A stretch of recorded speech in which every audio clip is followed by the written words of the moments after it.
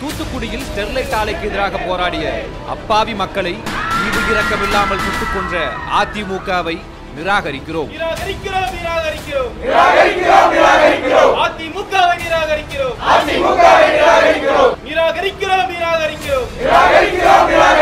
அதிமுகவை நிராகரிக்கிறோம்.